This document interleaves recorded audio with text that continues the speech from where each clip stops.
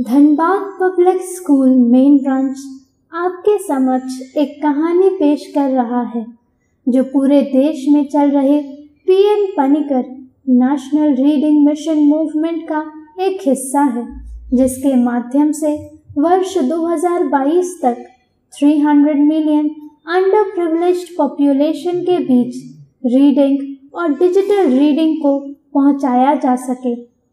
तो आज की कहानी मैं वर्षा, क्लास 11 आर्ट्स की छात्रा, आप सबके समक्ष प्रस्तुत करने जा रही हूँ। एक दिन प्रातःकाल बहुत सारे भिक्षुक भगवान बुद्ध का प्रवचन सुनने के लिए बैठे थे। बुद्ध समय पर सभा में पहुँचे, पर आज शिष्य उन्हें देखकर चकित थे, क्योंकि आज पहली बार वे अपने हाथ में कुछ लेकर आए थे। करीब आने पर शिष्यों ने देखा कि उनके हाथ में रस्सी थी। बुद्ध ने आसन ग्रहण किया और बिना किसी से कुछ कहे, चुपचाप रस्सी में गांठें लगाने लगे। वहाँ उपस्थित सभी लोग यह देखकर ये सोच रहे थे कि अब बुद्ध आगे क्या करेंगे। तभी बुद्ध ने सभी से एक प्रश्न किया, मैंने इस रस्सी में तीन गांठें लगा दी हैं। अब मैं आपसे ये जानना चाहता हूँ कि क्या ये वही रस्सी है जो गांठें लगाने से पूर्व थी? एक शिष्य ने उत्तर में कहा गुरु जी इसका उत्तर देना थोड़ा कठिन है।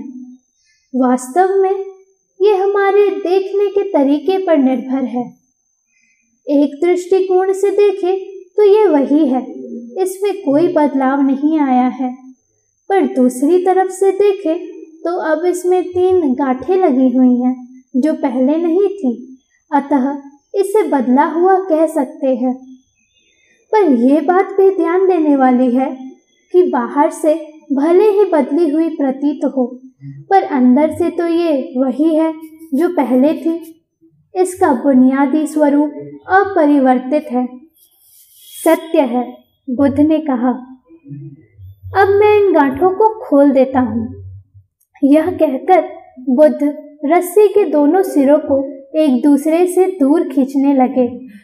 उन्होंने कहा, तुम्हें क्या लगता है इस तरह इन्हें खींचने से क्या मैं इन गांठों को खोल सकता हूँ? नहीं नहीं, ऐसा करने से तो ये और भी कस जाएँगी और इन्हें खोलना और भी मुश्किल हो जाएगा। शिष्य ने शीघ्रता से उत्तर दिया। सही है, बुद्ध ने कहा। अब एक आखिरी प्रश्न। बताओ, इन गांठों को खोलने के लिए हमें क्या करना होगा? शिष्य बोला, इसके लिए हमें इन गांठों को गौर से देखना होगा, ताकि हम जान सके कि इन्हें कैसे लगाया गया था। फिर हम इन्हें खोलने का प्रयास कर सकते हैं। मैं यही तो सुनना चाहता था। मूल प्रश्न यही है कि जिस समस्या में तुम फंसे हो, वास्तव में उसका कारण क्या है? कारण जाने बिना निवारण असंभव है।